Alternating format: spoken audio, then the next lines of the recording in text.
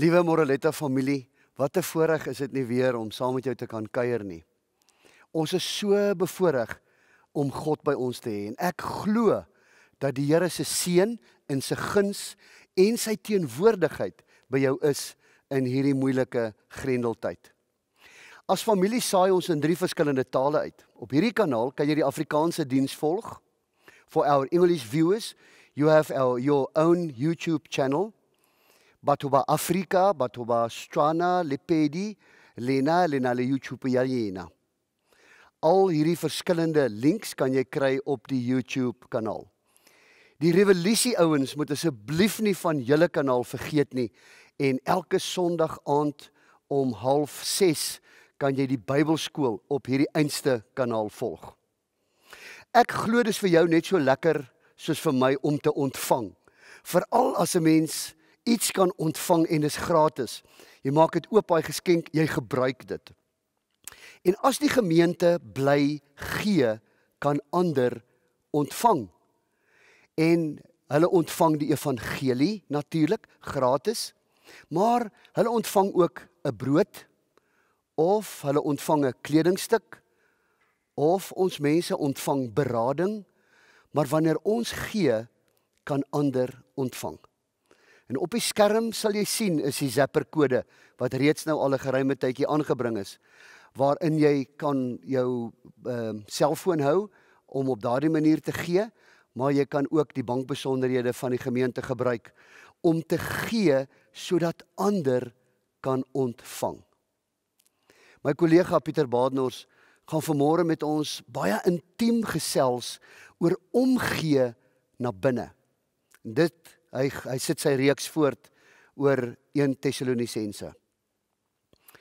Voordat ons dit doen, kom ons aanbid die Here en ons gee onsself as Henno en Johan ons in aanbidding gaan lei.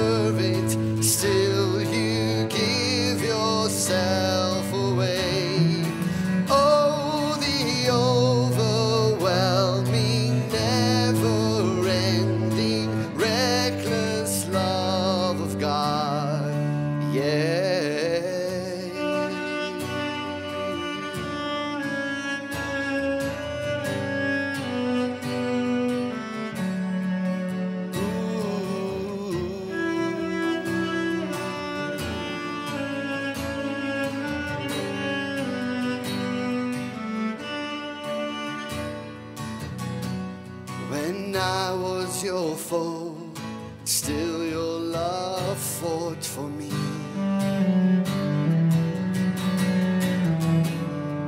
You've been so, so good to me. And when I felt the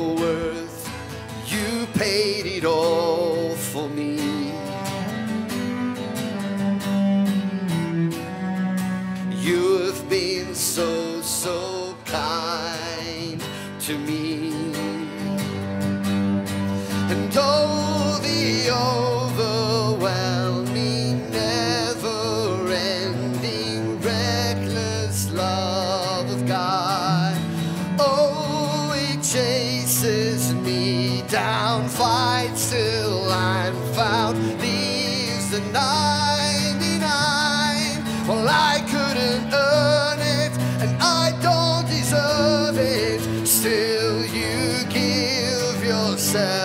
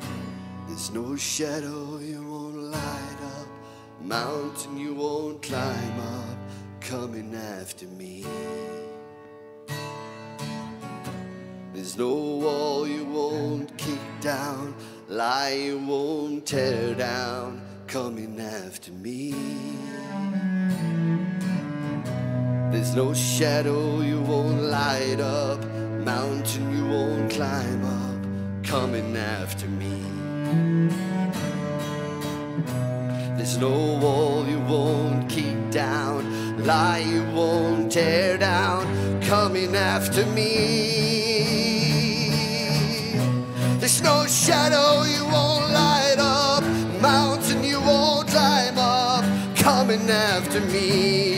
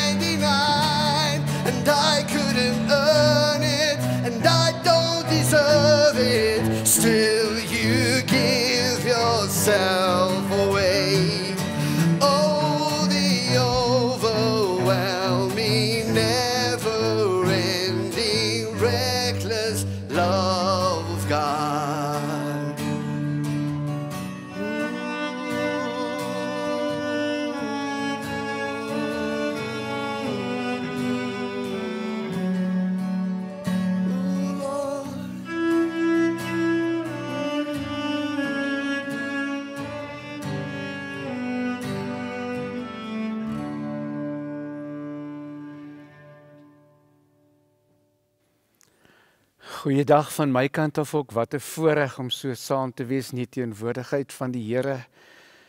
En na hierdie pragtige lied kan ons nie anders as om net in gebed voor die Here te wees voordat ons verder saamgesels nie. Kom ons praat met hom.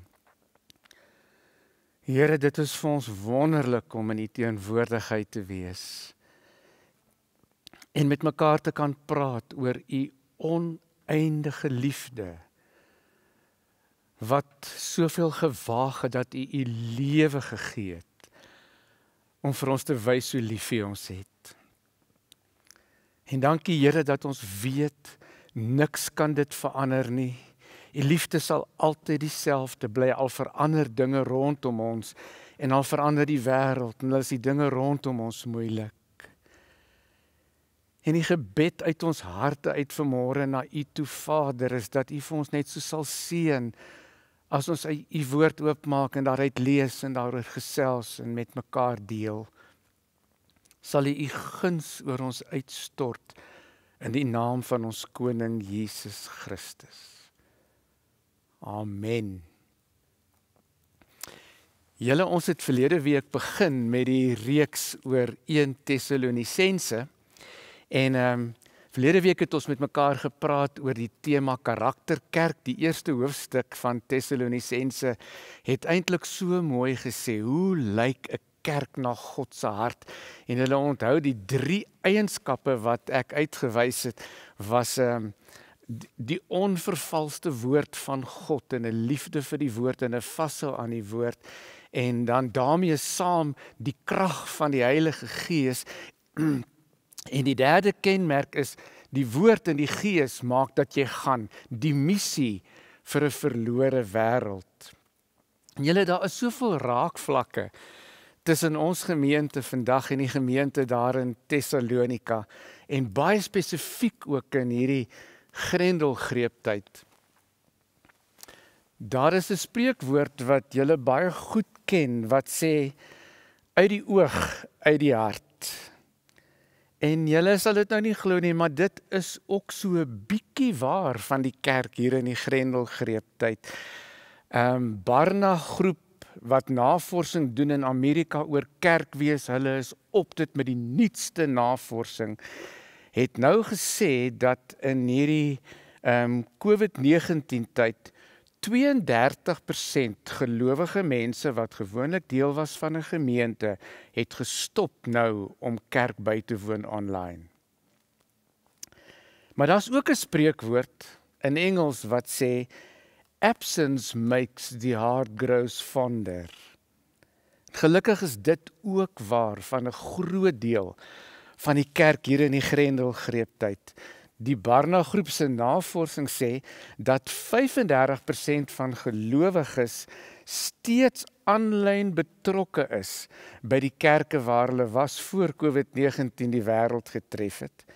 En dan sê hulle navorsing dat 14% van gelowiges het in hierdie tyd geskuif na 'n ander kerk of gemeente toe en dat 18% van gelowiges nou so 'n bietjie rondkuier tussen verskillende kerke. So julle vir die 68% wat deel is en wat die gevoel het van absence makes the heart grow fonder ons het dit nou meer nodig as ooit. Ehm um, wil ons as leierskap sê soos Paulus in vir die Tessalonisense in 1 Tessalonisense 1 vers 17. Hy skryf vir hulle wat ons betref broers toe ons nog maar 'n kort rukkie van julle geskei was wel uit die oog maar nie uit die hart nie het ons so baie na julle verlang dat ons alles in ons vermoë gedoen het om julle weer te sien. Hierdie twee hoofstukke waaroor ons vandag praat, hoofstuk 2 en hoofstuk 3, is seker van die dele in die geskrifte van Paulus waar Paulus se hart vol emosie die meeste wys. En hier lees ons intense emosie oor Paulus se passie vir die onvervalste evangelie sy liefde wat ontwikkel vir die mense waar hy hierdie evangelie bring en die verlange as hy nie meer saam met hulle is nie. Jy het gehoor Paulus sê ons is uit die oog maar nie uit die hart nie daar in vers 17. Maar dan in vers 18 dan verduidelik hy hoe hy verhinder is om weer terug te kom Tessalonika toe en hoe hy verlang om weer terug te kom en by hierdie mense te wees vir wie hy so lief geword het. Hy sê selfs die Satan het my verhinder. En hy skryf hoe hy dit letterlik nie meer kon uithou nie. Morletta Park. Ons as leiers wil vir julle as gemeente sê Ons voel presies so. COVID-19 verhinder ons om by mekaar te wees. En ons wil vir julle sê ons mis julle geweldig uit ons harte uit. En so tipies in 'n tyd soos hierdie, nê, dan dink 'n mens baie terug aan die saamwees tye toe ons dit nog gehad het en En dis of jy daardie tye ewe skielik so bietjie onder die vergrootglas plaas, julle. En uh so bietjie voorraad opname doen van hoe het ons dit gedoen toe ons saam was en en het ons dit reg gedoen en doen ons dit nou reg? En julle wat sê interessant, dis presies wat Paulus ook doen. As hy verlang na hierdie gemeente, dan hou hy voorraad opname van hoe dit was toe hulle daar was. En in hoofstuk 2 se eerste 7 verse sê Paulus vir hierdie gemeente na die negatiewe kant toe. Wat het ons nie daar by julle gedoen nie? En dan noem hy 'n klomp goed. Hy sê vir hulle ons het verseker nie dwaalleer verkondig nie. En wat ons vir julle gebring het, het ons nie gedoen met verkeerde motiewe nie. Ons het dit ook nie gedoen ter wille van die guns van mense nie. Ons het nooit vleitaal gebruik nie. Ons het geen verborgde motiewe van hebsug gehad nie. Ons het ook nie die eer van mense gesoek toe ons daar saam met julle was nie. En gemeente hierdie was en is steeds ons as leierskap van hierdie gemeente se hart om die waarheid onvervals neer te sit en vreesloos te staan vir dit waarvoor ons glo. Elke jaar weet julle word die leraars en kerkraad stil om regtig by die Here te hoor wat sy hart is vir ons. Ons is pas deur 3 donderdae aande op Zoom waar ons regtig stil geword het om by die Here te hoor sodat ons harte kan wees waar God se hart is julle en dat ons julle kan saamvat op hierdie reis die toekoms in. Dan gaan Paulus verder in die volgende gedeeltjie daarvan vers 7 tot 12 en daar sê hy wat hulle as leiers nou wel gedoen het. En ek lees dit graag saam met julle 1 Tessalonisense 1 Tessalonisense 2 daarvan af vers 7. Paulus sê ons was liefdevol en sag teenoor julle soos 'n ma wat haar kinders vertroetel So geheg is ons aan julle dat ons nie net die evangelie van God aan julle gegee het nie, maar ook ons lewe vir julle sou wou gee, want ons het julle lief gekry. Julle onthou immers nog broers, so ons gesoog en gesweet het. Dag en nag het ons gewerk om nie vir enige een van julle 'n las te wees terwyl ons die evangelie van God aan julle verkondig het nie. Julle en ook God is getuie van hoe suiwer, reg en onberispelik ons ons gedra teenoor julle wat glo. Net so weet julle ook hoe ons elkeen van julle behandel het soos 'n pa sy kinders. Het ons elkeen van julle bemoedig en aangespoor en dit op die hart gedruk om tot eer van God te lewe. Hy wat julle roep om in sy koninkryk in te gaan en so aan sy heerlikheid deel te hê. Hoor julle wat sê Paulus? Wat hulle wel gedoen het is dat hulle liefdevol en sag was teenoor hierdie mense soos 'n ma teenoor haar kinders. Hulle was so geheg aan hierdie gemeente in die kort tyd wat hulle daar was dat hulle hulle lewe sou gee vir die Tessalonisense.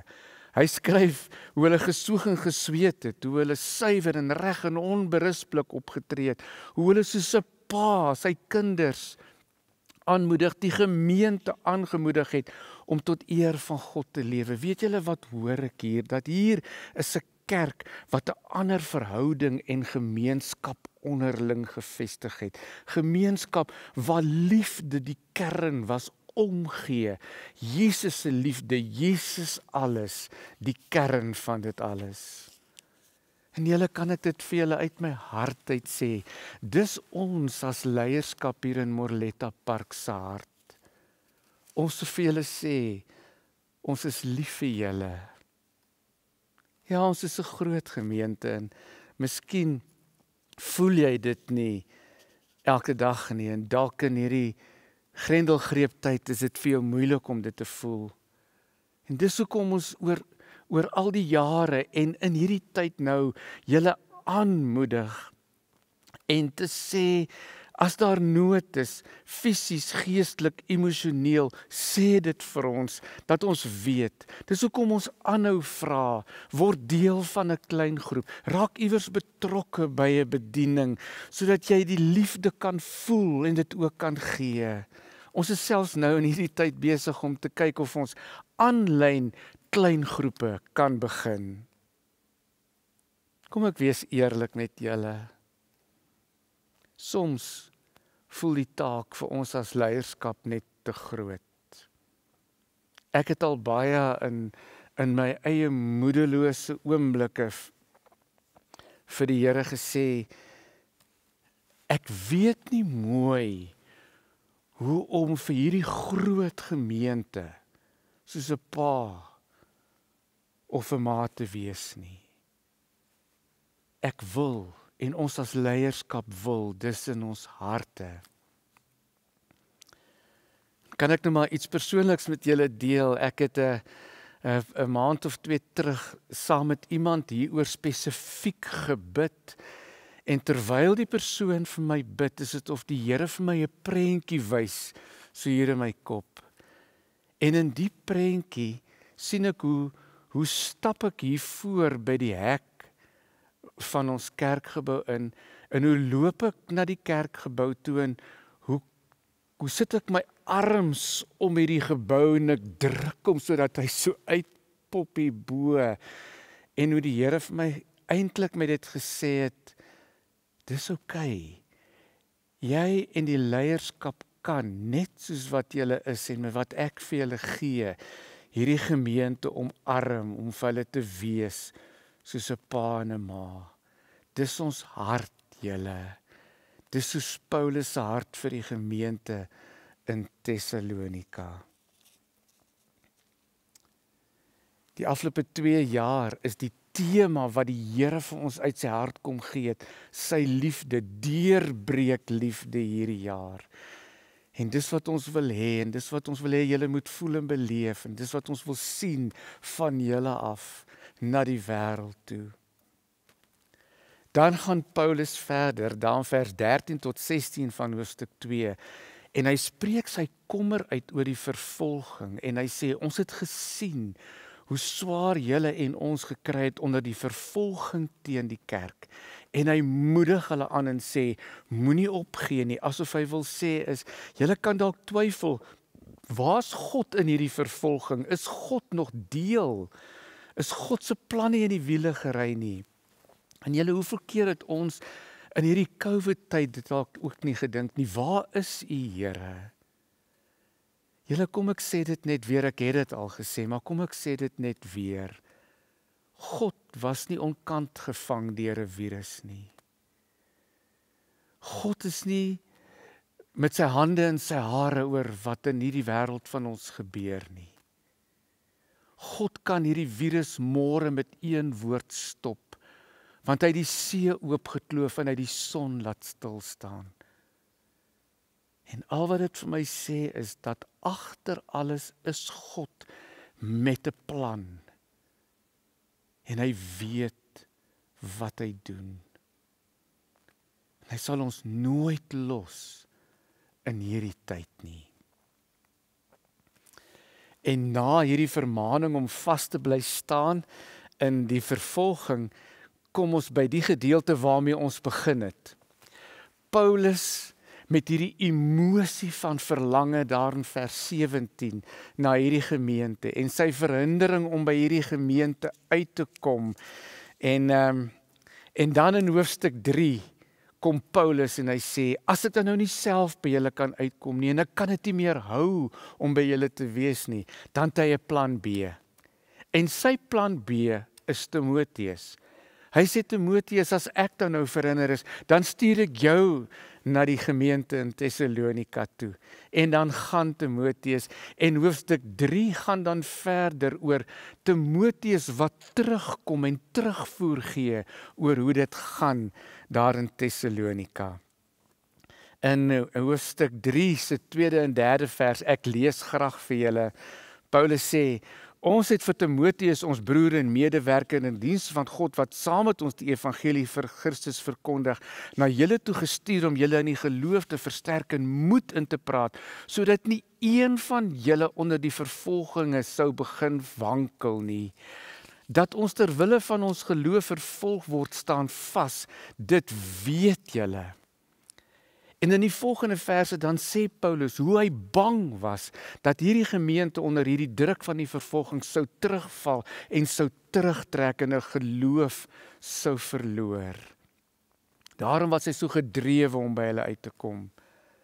kan ek vir julle sê dat ons as leierskap iets verstaan van Paulus se hart Morletta Park. In hierdie grendelgreeptyd sit ons baie op ons Zoom vergaderings en ons wonder, hoe gaan dit met julle? En ons plan B is Timoteus Media, want dis al manier wat ons by julle kan uitkom in hierdie kyk in hierdie tyd.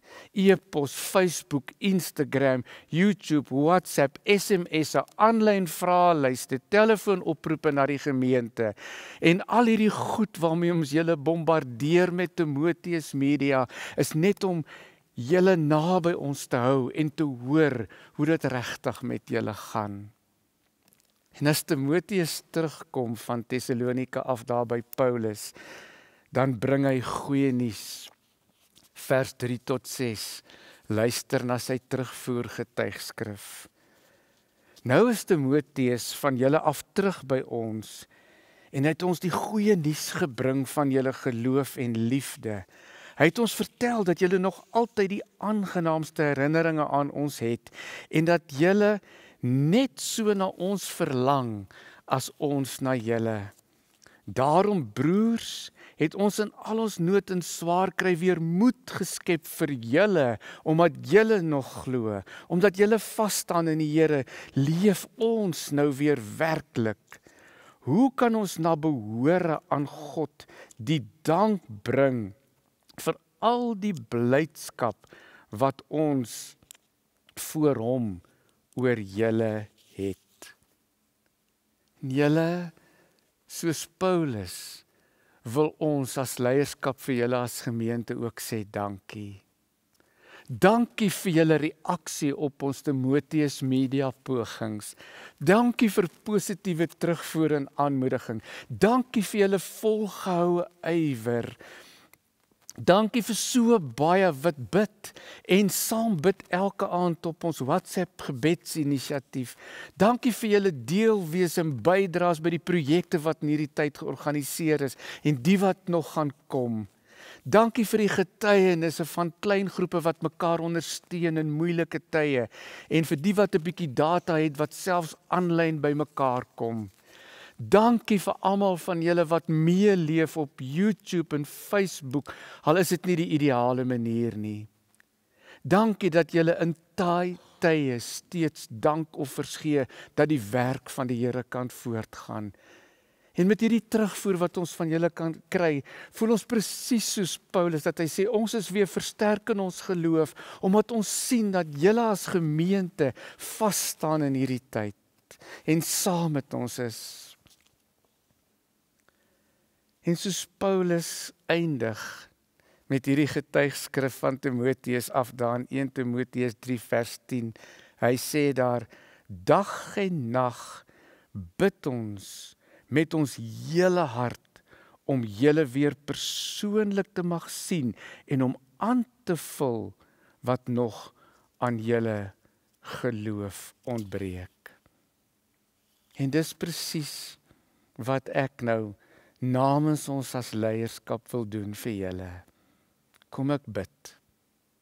Here, dankie. Dankie. Baie dankie vir die voorreg om as gemeente te kan voortgaan al sien ons mekaar nie. Al is ons in 'n grendelgreeptyd. Here, dankie dat ons by hierdie gemeente soveel kon leer daar in Tessalonika, dat ons soveel raakvlakke kon identifiseer en dit vir môre vir mekaar kon sê as leierskap in gemeente. Here en ons as leierskap kom sit ons hele gemeente voor U neer elke lidmaat in hierdie moeilike tye met die vervolging wat ons op 'n manier beleef in hierdie grendelgreep tyd van goed wat ons nie mag nie, van goed waarvoor ons bang is, van dinge wat ons kort weekend terughou. Here, ons kom bid dat U ons gemeente sal dra in hierdie tyd. Dat hulle naby U sal bly in moeilike tye. Ons kom eer U Here vir ons gemeente se ywer en se liefde en se vas staan in hierdie tyd. Dat ons dit kon hoor in die terugvoer en dat dit ons as leierskap kon bemoedig om aan te gaan en nie op te hou nie. Dankie Here dat ons al is ons ver van mekaar en al sien ons mekaar nie en al mis ons mekaar en al verlang ons na mekaar dat ons weet die liefde van Christus bind ons saam dat ons steeds 'n gemeenskap van gelowiges kan wees waar Jesus alles is en wat die wêreld rondom ons wat in vrees en angs lewe dit kan sien. Here sal U vir ons help dat ons dit nog meer sal wees en sal doen in hierdie tyd. Dankie Here dat ons weet dat U die God is wat se liefde nie verander nie en dat ons met die krag van die onvervalste woord van God mekaar kan bemoedig elke Sondag en op al die media ons Timoteus media manier om by mekaar uit te kom. Gebruik dit, Here, seën dit. Bind ons steeds saam in hierdie tyd. Dis die gebed van ons hart vir mekaar in die naam van ons koning Jesus Christus. Amen.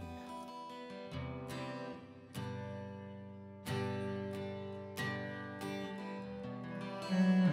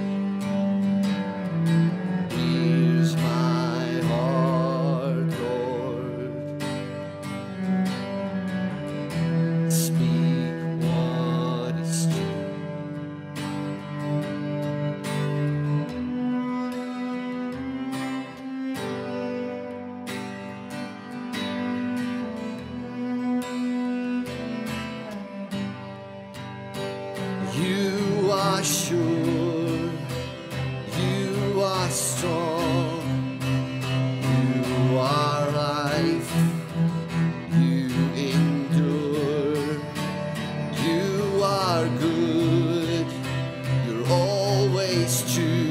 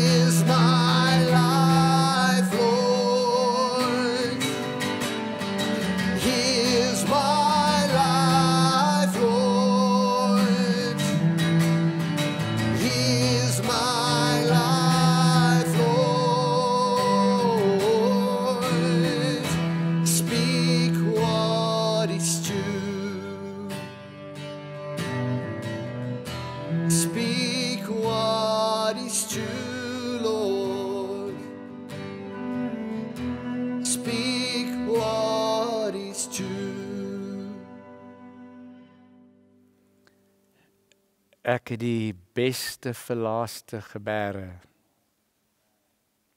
1 Tessalonisense 3 se laaste 3 verse is 'n seënbede wat Paulus oor hierdie gemeente uitspreek en ek stuur julle uit met hierdie seënbede. Mag God ons Vader self en ons Here Jesus die pad na julle toe vir ons oopmaak. En mag die Here julle liefde vir mekaar en vir alle mense laat groei en oorvloedig maak soos ons liefde vir julle. So sal hy julle innerlik sterk maak dat julle onberispelik en heilig voor God ons Vader sal staan wanneer ons Here Jesus kom met al sy heilige engele. Amen. Tot volgende Sondag.